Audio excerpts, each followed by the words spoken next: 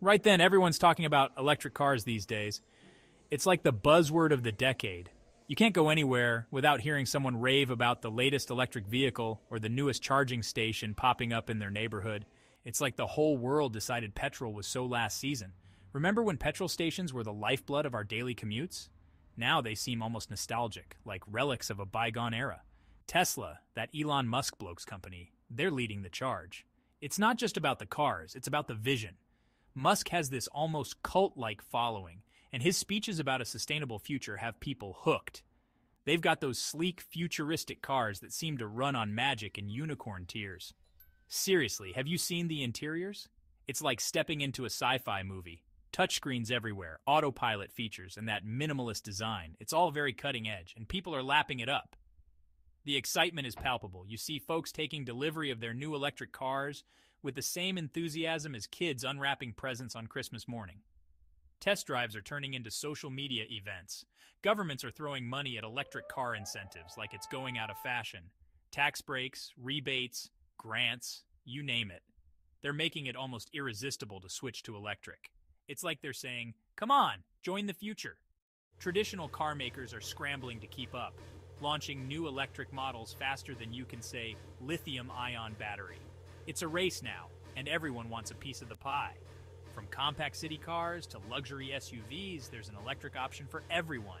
It's an electric revolution, and the internal combustion engine seems to be heading the way of the dodo. Imagine telling someone a decade ago that petrol engines would be museum pieces. They'd have laughed you out of the room. But hold on a minute. Not everyone's jumping on the electric bandwagon just yet. There's still a lot of debate and skepticism out there.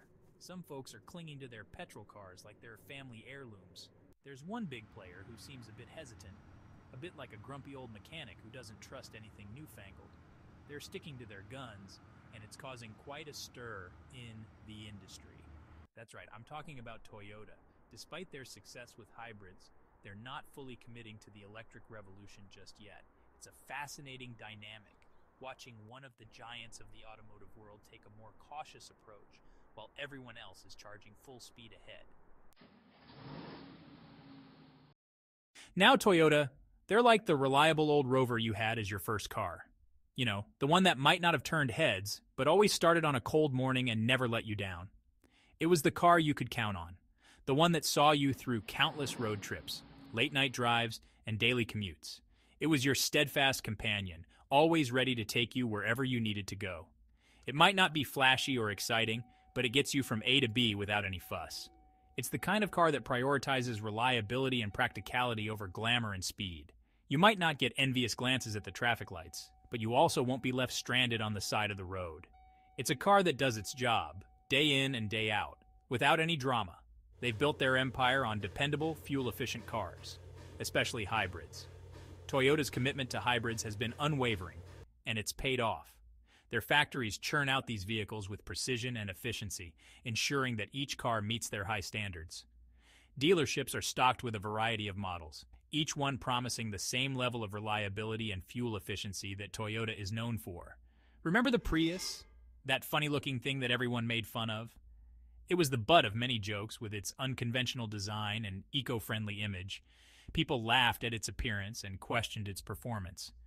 But those who took a chance on it found themselves pleasantly surprised. It was a car ahead of its time, paving the way for a new era of hybrid vehicles. Well, it turns out Toyota was onto something. The Prius became a symbol of innovation and environmental consciousness. It showed the world that you didn't have to sacrifice performance for sustainability. It became a favorite among eco conscious drivers and celebrities alike, proving that you could be green and still get where you needed to go.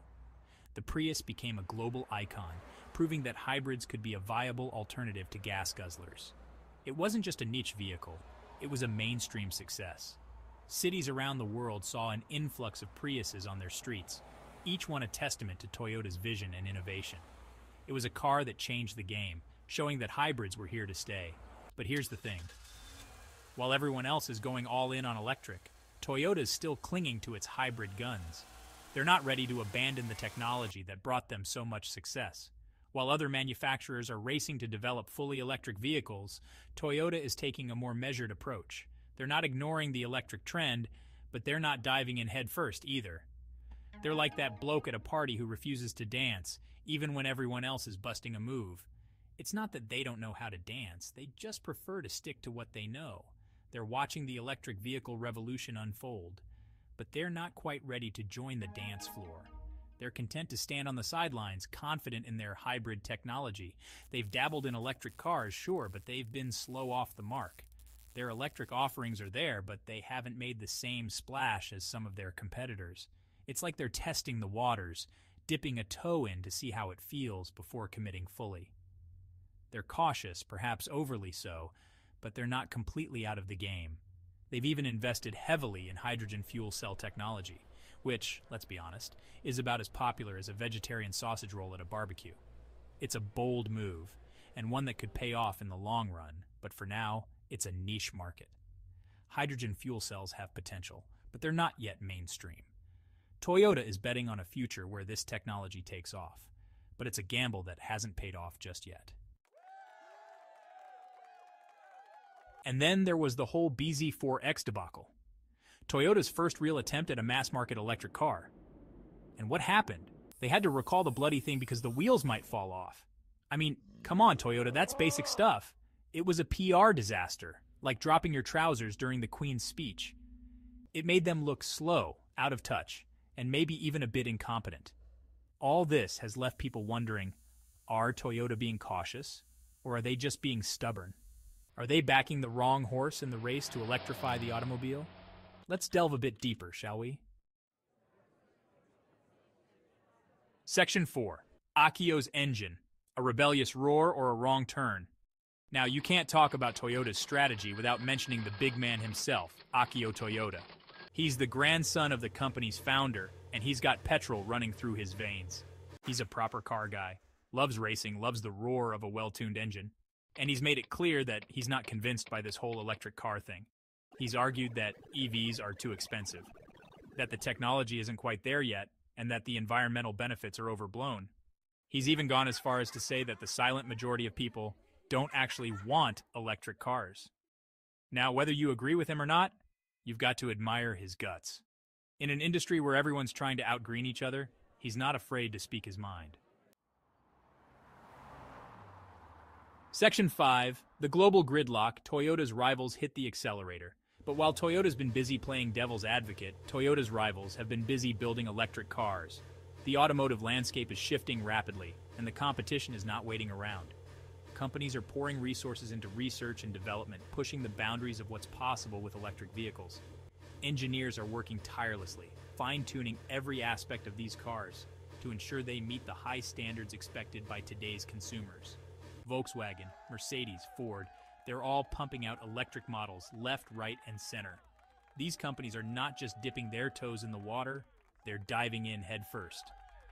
Volkswagen is committed to becoming a leader in electric mobility, with plans to launch dozens of new electric models in the coming years. Mercedes is equally ambitious, aiming to have a fully electric lineup by the end of the decade. Ford, too, is making significant strides with its popular Mustang Mach E and the upcoming electric F 150 Lightning. Even posh brands like Bentley and Rolls Royce are getting in on the act. These luxury automakers are known for their opulence and performance, and they're now bringing that same level of excellence to the electric vehicle market. Bentley has announced plans to go fully electric by 2030, while Rolls Royce is developing its first electric car, the Spectre, set to debut in the near future. The shift to electric is not just a trend, it's a revolution that's sweeping across all segments of the automotive industry. It's like everyone's invited to the electric party and Toyota's the only one stuck at home, watching reruns of Top Gear. Now, Toyota's not stupid. They understand the importance of staying relevant in a rapidly changing market. The company has a long history of innovation, from the introduction of the Prius, the world's first mass produced hybrid car, to their pioneering work in hydrogen fuel cell technology. But despite their past successes, Toyota seems hesitant to fully embrace the electric future. They know they can't ignore the electric revolution forever. The pressure is mounting from all sides. Consumers, governments, and environmental groups are all demanding cleaner, more sustainable transportation options. Toyota's leadership is well aware of these demands, and they're taking steps to address them.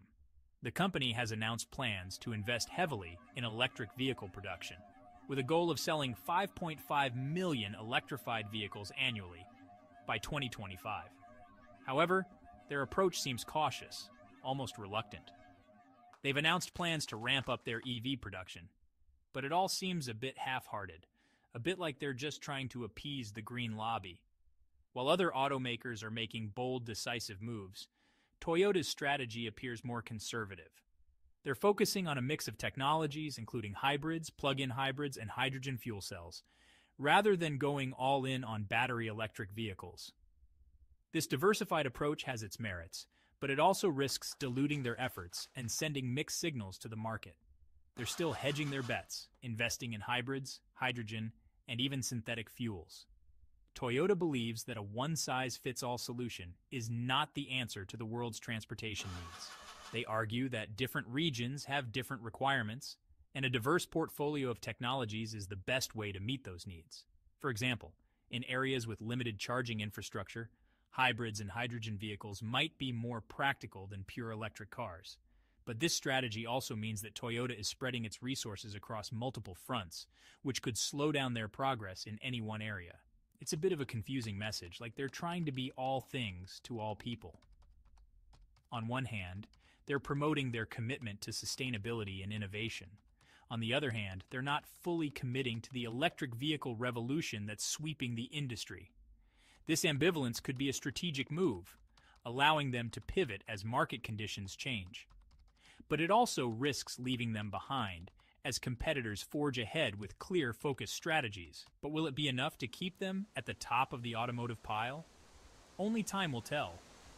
Toyota has a strong brand, a loyal customer base, and a track record of success. But the automotive industry is in the midst of a seismic shift, and staying at the top will require bold, decisive action.